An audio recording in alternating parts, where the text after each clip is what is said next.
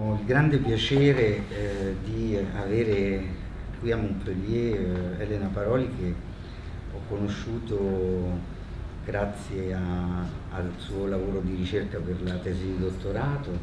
che ha sostenuto a, a Aix eh,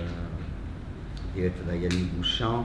eh, sulla poesia eh, italiana contemporanea. E non è la prima volta che Elena eh, partecipa nostri, alle nostre giornate di studio e ai nostri convegni eh, ed è sempre un grande piacere eh, averla con noi. Ora eh, il percorso di Elena continua e mh, mm, insegna all'ENS de Lyon e, eh, e oggi, quindi anche lei studiosa di poeti contemporanei che non sto a citare, ma è una grande studiosa di questioni anche di rapporto di io lirico, rappresentazioni dell'io in vari eh, poeti eh, del primo e del secondo Novecento. E oggi eh, è qui per parlarci di un altro grande eh, poeta eh, del nostro XX secolo che è Vittorio Sereni e ci presenta una, eh, un intervento che si intitola L'acqua come frontiera l'elemento lacustre nella poesia di Vittorio Sereni e ti do la parola. Grazie. Eh, grazie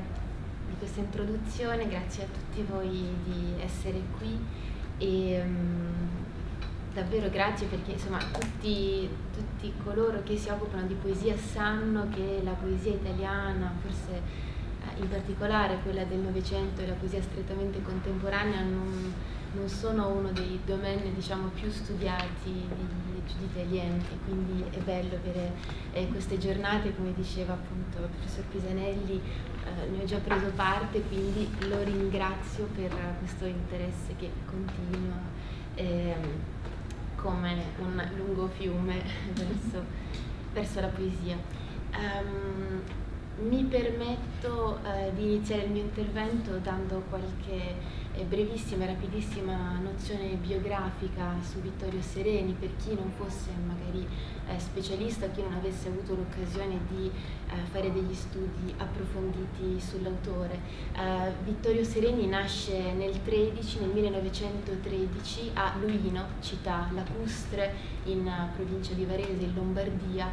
morirà a Milano nel 1983. Eh, direi che la sua pregnanza poetica, la pregnanza dei suoi contenuti eh, poetici è inversamente proporzionale alla sua produzione di libri di poesia. Eh, Vittorio Sereni è stato un poeta parco, parcherrimo, abbiamo solo sue, quattro sue raccolte eh, Frontiera nel 1941, il suo primo lavoro poetico, seguito nel 1947 da Diario d'Algeria e poi bisognerà aspettare un lungo eh, periodo eh, di quasi vent'anni per avere nel 65 il suo terzo e forse più importante libro, Gli strumenti umani, a cui seguirà un altro importante eh, silenzio eh, che poi darà eh, luce, la luce a uh, Stella Variabile, la sua raccolta dell'81. Le prime tre raccolte di Sereni scandiscono tre fasi essenziali della vita del poeta,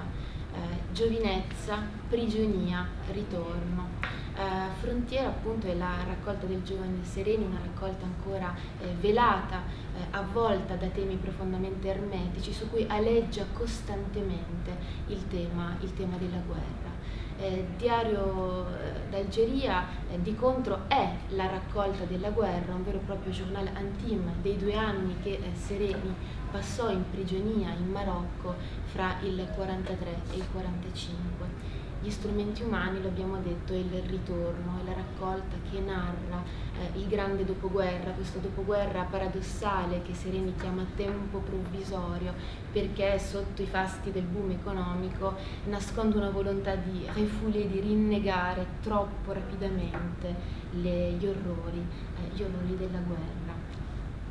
Um, il tema dell'acqua eh, di certo per ragioni biografiche, per ragioni natali, proprio come abbiamo visto ora con Bertolucci, è in un poeta come Sereni, eh, un poeta legato all'espressione fenomenologica e alla formula epifanica, il perfetto eh, correlativo oggettivo, la prediletta immagine eh, poetica per esprimere tanto la sua condizione esistenziale privata quanto la condizione appunto storica, macrostorica del suo tempo e eh, bisogna dirlo fin da subito il tema dell'acqua è declinato in Sereni in modo, in modo personalissimo e quindi antifrastico rispetto alla sua rappresentazione canonica. L'acqua non è cristianamente elemento paradisiaco di catarsi, né classicamente immagine dello scorrimento, del procedere avanti delle cose, del progresso o del superamento. Eh, a questo proposito mi paiono essere tre le principali formulazioni e rappresentazioni dell'acqua che si trovano anche a scandire i tre temi essenziali della vicenda poetica eh, dell'autore. Da un lato, in prima istanza, l'acqua diviene emblema dell'anti-idillio o di un idillio apparente. Apparente poiché proprio nel momento in cui si presenta come elemento edenico si rovescia nel suo contrario e diviene testimone della perdita dell'armonia. È, come vedremo, un'immagine allegorica della storia, dell'impossibilità durante e dopo la seconda guerra mondiale di un paesaggio intatto e armonico, di un paesaggio battesimale, di rinascita. In seconda istanza l'acqua eh, si fa metafora contraddicendo la sua natura chiara, petrarchescamente chiara e scorrevole, dell'inconoscibilità del mondo. L'acqua, trasformatasi in ghiaccio immobile, dà forma a segnali incoglibili che mettono il poeta davanti alla sua impotenza, relegandolo alla possibilità, e qui intravediamo chiaro il magistero di Montale, di un sapere solo per via negativa, dove lo specchio lacustre ci può dire solo chi non siamo, cosa non sappiamo. Altrimenti detto, l'acqua si fa emblema di una postura che mi pare essere eminentemente novecentesca, eh, ovvero una postura in cui il poeta, ormai indissolubilmente legato a fondamenti crepuscolari, eh, non pensa più di poter penetrare l'intima essenza del mondo, ma solo di poter accedere a barlumi, per usare una parola luziana, a barlumi di verità, sempre mutevoli e provvisori. E infine, in terza istanza, vedremo l'acqua essere un tema eminentemente esistenziale, eh, eminentemente privato, eh, sarà il sentimento di un non ritorno, dell'impossibilità di specchiarsi nel lago d'infanzia. Infatti questa immagine si troverà proprio cristallizzata nel rapporto fra Sereni eh, e il lago di Luino che diventerà repentinamente un vuoto, una lacuna del cuore in un perfetto ribaltamento delle fusioni romantica. Dunque, eh, come, come, dicevo, l'acqua appunto come eh, anti-idillio, come immediata rottura dell'idillio. Il primo testo che vorrei leggere e commentare insieme a voi è Concerto in giardino, eh, tratto appunto eh, da Frontiera, dall'esordio poetico dell'autore. A quest'ora innaffiano i giardini in tutta Europa tromba di spruzzi roca raduna bambini guerrieri, echeggia in suono d'acque sino a quest'ombra di panca. Ai bambini in guerra sulle aiole sventaglia, si fa vortice. Siluri bianchi e rossi battono gli asfalti dell'Avus, filano treni a sud-est, tra campi di rose. Da quest'ombra di panca ascolto i ringhi della tromba d'acqua a ritmi di gocce il mio tempo s'accorda. Uh, quello che mi ha sempre colpito nel leggere questa, questa poesia e che continua a colpirmi nelle letture che, che, si susseguono è questa appunto feroce, repentina e straordinaria rottura che vi è fra il titolo, i primi due versi e il resto del componimento. Direi quasi che il titolo e i primi due versi costituiscono una terzina a sé stante, appunto l'unica possibile allusione a un paesaggio ancora edenico e che viene immediatamente rotto, concerto in giardino, un titolo quasi stilnovista e poi questa immagine eh, quieta, orizzontale, universale, a quest'ora innaffiano i giardini in tutta Europa e poi la rottura, la tromba di spruzzi roca. Ecco, Sereni eh, utilizza, esploita pienamente qua eh, la polisemia di questa parola, la tromba che subito ci rinvia al gergo militare, alle truppe richiamate al suono della tromba, alla guerra che irrompe e che però è anche la parola tromba nel dialetto lombardo, quindi nel dialetto in qualche modo sereniano, e anche la pompa d'acqua. E quindi da subito abbiamo questa sovrapposizione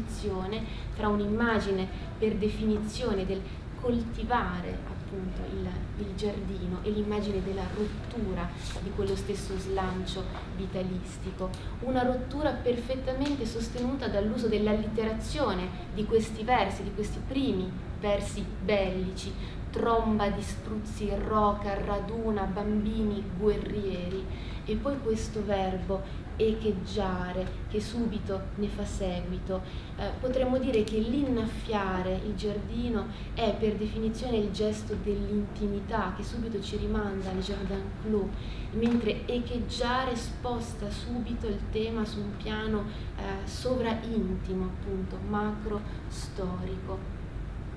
E anche qua eh, non possiamo non vedere far capolino, eh, vedere far capolino montale quando questa tromba ormai sempre più guerriera diventa un vero e proprio vortice, sventaglia, si fa vortice. Abbiamo qui chiaramente il montale della bufera, il montale mm. del 56, che anch'egli sfrutta eh, questo tema meteorologico, diciamo così, per dare forma, per farne un correlativo oggettivo, una metafora maggiore della guerra.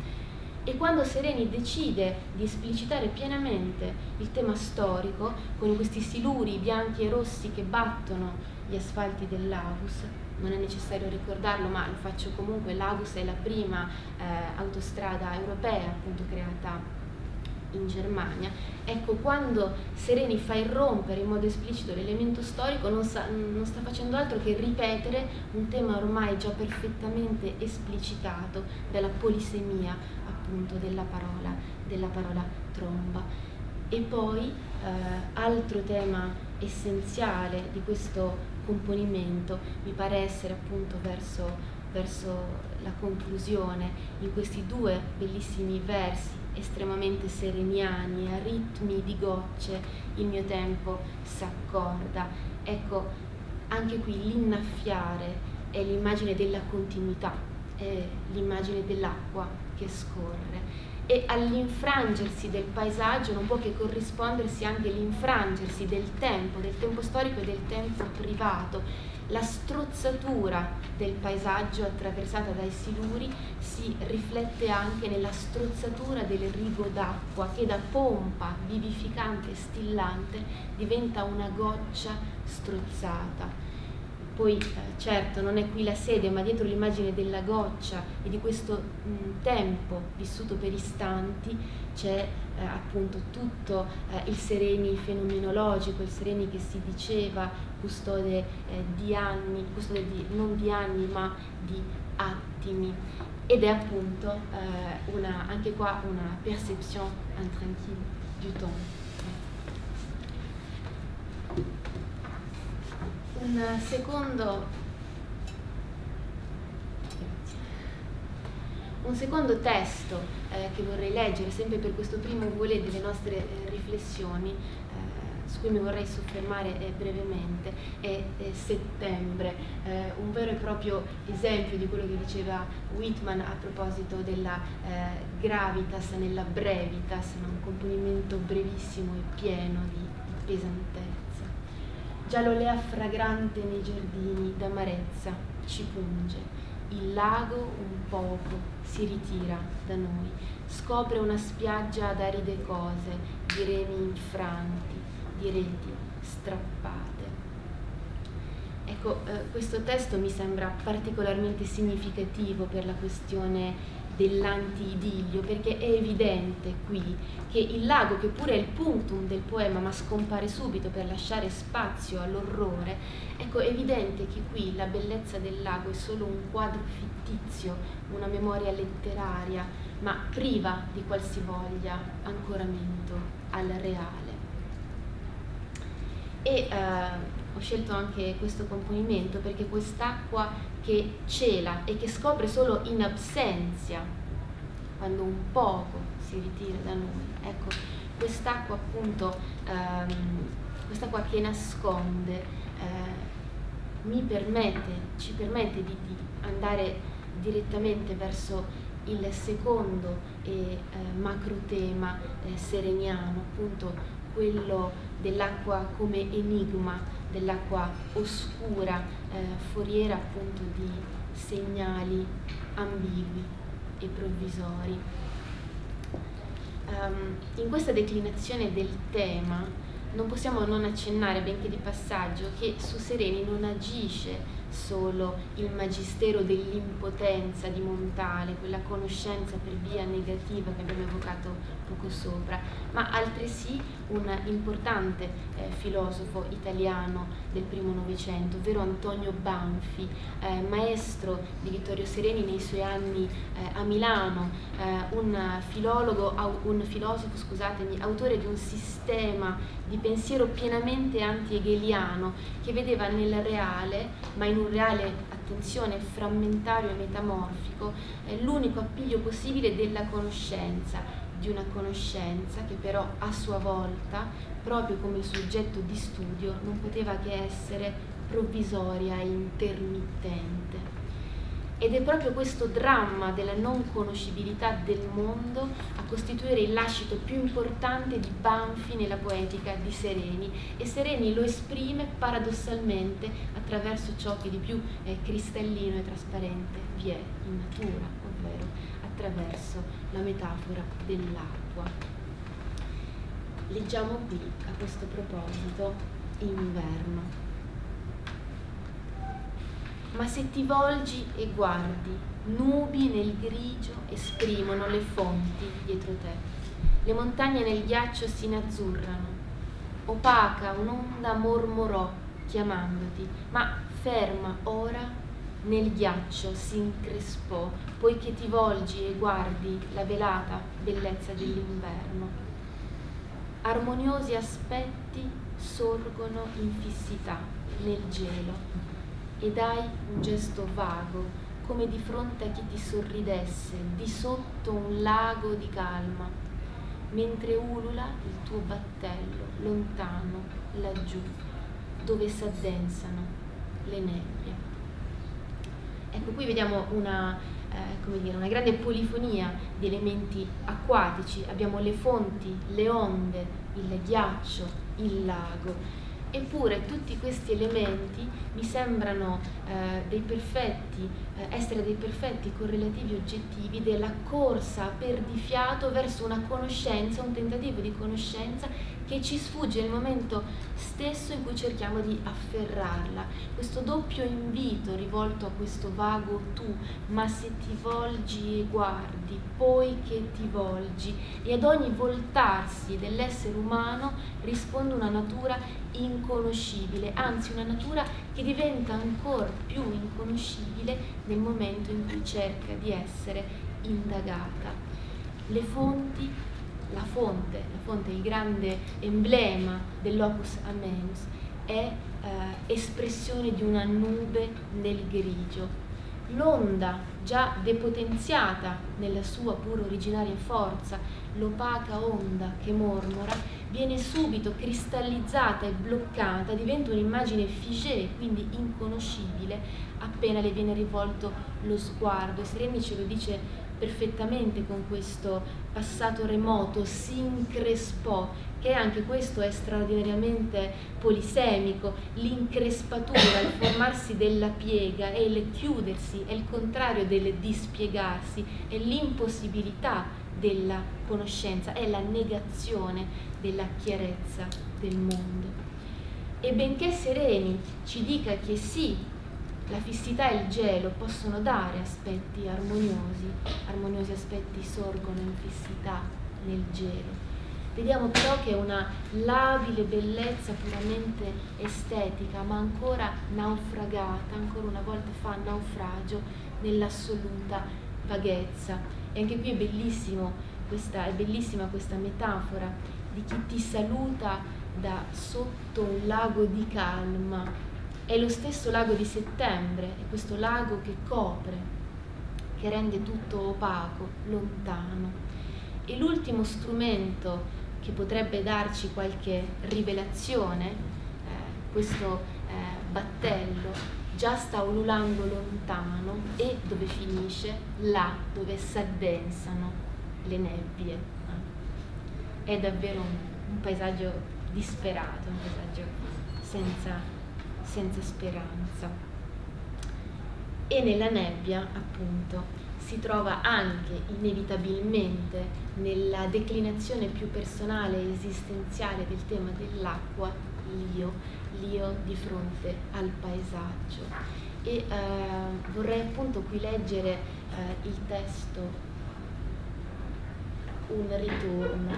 l'unico testo eh, di queste brevi riflessioni di oggi tratto eh, dagli strumenti umani, quindi un testo più tardivo e, e maturo eh, di Sereni, in cui però vediamo una perfetta prosecuzione dei temi, dei temi giovanili. Eh, qui Sereni appunto si racconta, racconta il suo arrivo davanti al, al lago dell'infanzia e eh, tema del testo, anche qui brevissimo, estremamente pregnante, è il non riconoscimento. È evidente che in questo non riconoscimento esistenziale aleggia ancora e di nuovo la componente storica. Sereni non si riconosce nel tempo del suo presente perché il tempo del suo presente ha rifiutato il passato bellico e rifiutando il passato bellico rifiuta anche chi la guerra l'ha fatta, anche se solo in prigionia, come, come appunto è stato il caso, il caso di Sereni. Un ritorno. Sul lago le vele facevano un bianco e compatto poema, ma pari più non gli era il mio respiro. E non era più un lago, ma un attonito specchio di me, una lacuna del cuore. Dal riflesso delle vele sull'acqua, quindi inizio il componimento, l'idillio incipitario, di nuovo questo tableau, questo quadro, questo bianco e compatto eh, poema, in un reale frammentario, la compattezza può essere data solo appunto a questa momentanea illusione e infatti questa ampiezza immaginifica della descrizione viene repentinamente interrotta dal ma avversativo al secondo verso. Il ma è lo strumento per eccellenza per questo sereni epifanico, montalianamente epifanico, è, il, è quello che è l'allorché per Tozzi, è appunto l'avversativa che indica il momento della rivelazione, il momento in cui le cose superano la loro parvenza per giungere alla loro essenza. E, ehm, è, da, è appunto a partire da questo ma che l'apparente armonia lacustre, compatta, bianca, chiara nel suo riflettersi, si infrange nella disarmonia della percezione dell'io. La mancata coincidenza fra tempo presente e tempo passato si insinua così fortemente nel poeta da cambiare appunto la stessa configurazione del lago che totalmente interiorizzato si trasfigura in un primo momento in uno specchio stupefatto, eh, attonito, questo aggettivo bellissimo, quindi uno specchio attonito dell'immagine del soggetto e in definitiva, dicevamo, in una lacuna del cuore. Ed è proprio sul passaggio fra lago e lacuna che vorrei soffermarmi un istante. Eh, se a primo impatto la vicinanza fonetica dei due termini tradisce la comune radice linguistica, lacus, la lontananza semantica è lì invece a manifestare l'irriducibile diversità concettuale.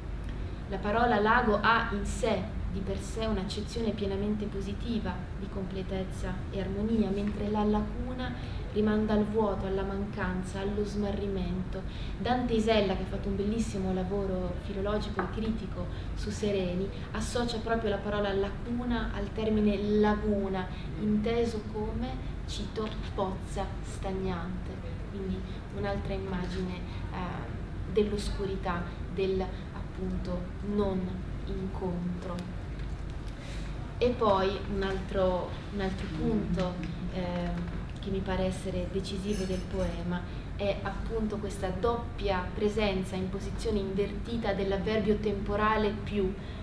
ma pari più non era e non era più. Eh, anche qui eh, una specie di variazione sul tema volta a rivendicare una negazione irreversibile, esattamente come lo ha fatto l'imperfetto eh, d'inverno, quell'increspò è dato una volta per sempre e non c'è possibilità di dispiegamento. Il lago di Luino si è insomma frantumato, riflette un'immagine differente. L'acqua eh, non è più simbolo del riconoscimento ma dello straniamento e eh, come per concerto in giardino, che avrebbe potuto tranquillamente intitolarsi De concert, proprio nel senso di uh, désaccord, eh, abbiamo anche qui un titolo totalmente antifrastico, il ritorno non ritorna mai, eh, l'acqua non scorre, eh, non purifica e non ci riflette in alcun modo. Vi ringrazio per la vostra attenzione.